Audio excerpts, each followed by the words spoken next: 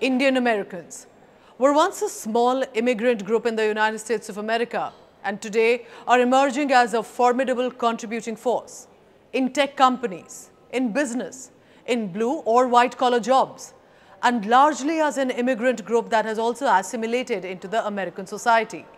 And that is the reason that Indian Americans are now seen also as a political force in fact, Indian Americans recently surpassed Chinese Americans to become the largest Asian group in the United States. It's not simply about the numbers, but the contribution to a better American society too, while holding on to their Indian values. From key positions in government to influential roles in both major political parties, their impact clearly today in 2024 is undeniable and it is visible both in the Republican and the Democrat camps. But how did this community, making up to just about 1.5% of America's population, become so influential and noticeable?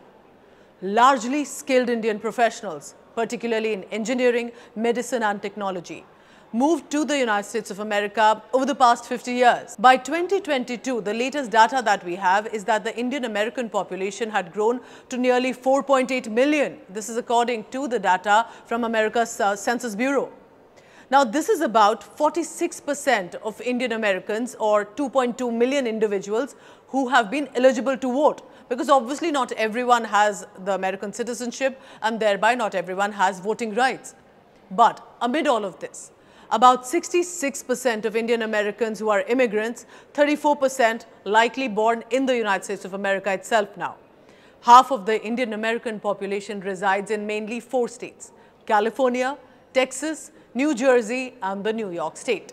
The median household income for Indian Americans in 2022 was reportedly about $145,000. It's significantly higher than the median income of other Asian American groups, which is about $100,000. This is according to the PEW. So how has Indian American community become a political force? I'll take you both to a Democrat and Republican camps to show how more and more faces are coming to the fore.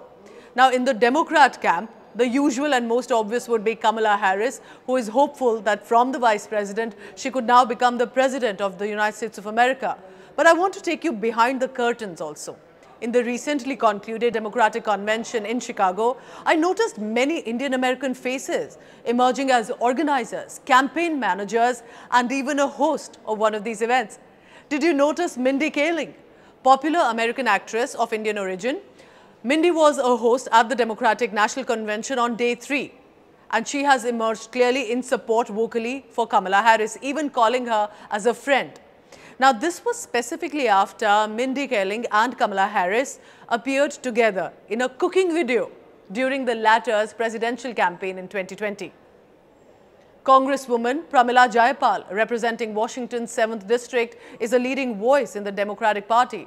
Ro Khanna, a key figure in the tech industry, also serves as California's 7th district, representing the heart of Silicon Valley. We're at the Democratic National Convention here in Chicago, and we're joined by Indian American Congressman Ro Khanna, who's been very involved with this entire process. He was the campaign co-chair for Biden, and he's still involved in the Kamala Harris campaign. You're still in the finance uh, I was committee? on the advisory board for President Biden, and still on the advisory board for uh, Vice President Harris. Uh, Congressman, just trying to get a feel of it. I mean, we saw both the Obama speak last night. I'm talking to a lot of people. You know, what's your feel on this election? And, you know, I mean, on Kamala Harris's chances to win this election?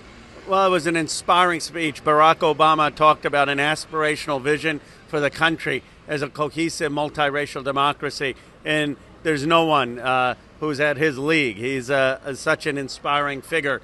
Uh, it is going to be a fight. Uh, we're, we're, we're still the underdog, but we've got a, a, a, fighting chance. And the important thing is that we do everything we can uh, to mobilize this country to bring change. Then there is Sri Thanedar, Indian origin Democrat. He's otherwise a millionaire.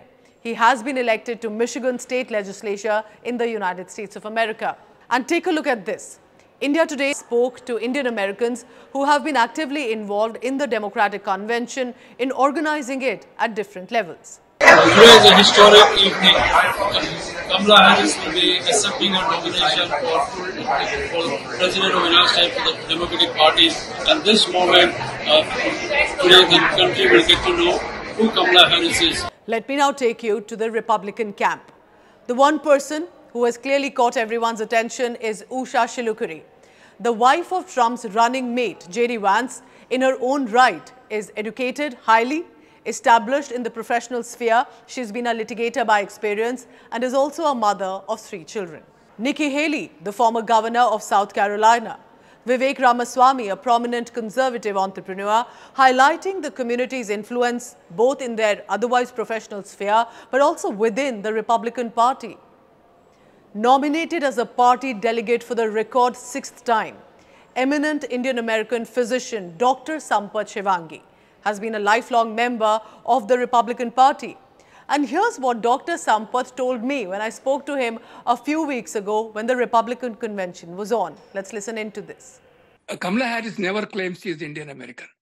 She is uh, African American. That's what she claims. So I think we are taking a, a wrong uh, notion that she's Indian American. Mm. I question her mm, a million times. Are you Indian American? She would not answer that that mm-hmm. question.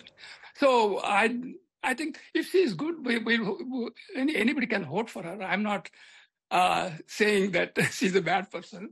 But Trump was successful in four years. Inflation was 30% down in America. Biden presidency has inflation went up by 30%.